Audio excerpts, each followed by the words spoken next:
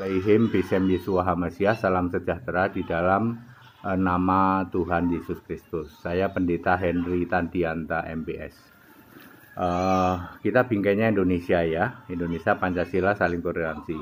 Saya tidak tahu siapa yang dimaksud orangnya, tetapi uh, saya diberi info ya, di, dikasih link video. Video ini sedang live, saya saya kasih komen juga di situ ya.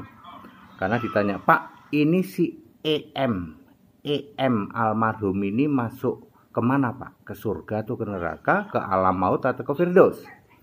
EM adalah seorang mu'alaf tadinya. Mu'alaf dulu, terus lama jadi mu'alaf, pas, pas sedang sakit, sakit-sakit keras, balik lagi ke katanya iman pada Yesus katanya. Ya, saya lihat di situ ya, di siaran live-nya, oh udah ketahuan dia penyembah Bapa ya penyembah Bapak pulang ke rumah Bapak. Lalu jawabannya EM ini ke surga atau ke neraka, ke alam maut atau ke? Jawabannya 100% alam maut. Ya, bukan karena dia pindah dari mualaf ke Nasrani, tetapi karena dia menolak beriman pada Kristus Yesus satu-satunya Allah. Itu intinya. Karena menolak Yesus Kristus satu-satunya Allah ya ke alam maut. 2 Timotius 3 ayat 15 keselamatan itu hanya dalam nama Kristus Yesus bukan dalam Bapa. Bapa anak Roh Kudus bukan. Orang yang mati dalam Kristus yang akan selamat. 1 eh, Tesalonika 4 ayat 16 mati dalam Bapa tidak akan selamat. Pasti ke alam maut. Ini dia masih tergabung dalam gereja penyembah Bapa. Bapak siapa? Ya sudah pasti Bapak iblis ya Yohanes 8 ayat 44 dia eh, sangat getol bilang uh, berpulang ke rumah bapak. Mana ada bapak di surga? Nggak ada itu ya. Jadi uh, para mualaf saya sudah jawab em yang mantan mualaf ya lalu balik lagi ke Nasrani lalu meninggal. Ke mana pak? Dijamin 100% alam maut nanti ke neraka. Pasti.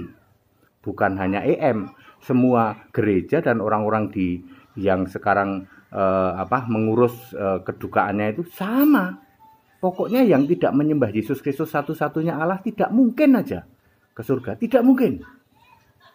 Ya, pasti ke alam maut. Ya, clear jawaban saya ya. Jadi EM, saya juga komen di situ. EM ke alam maut.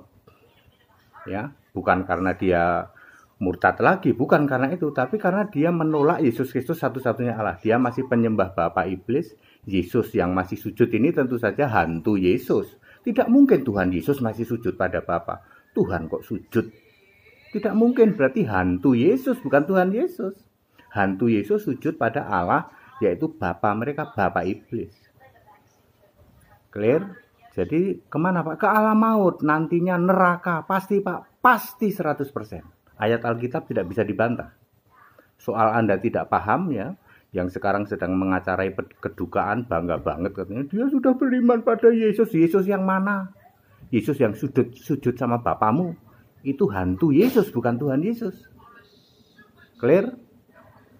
Itu jawaban saya. Kita tetap ikut berduka atas meninggalnya EM saya tidak tahu EM ini siapa ya.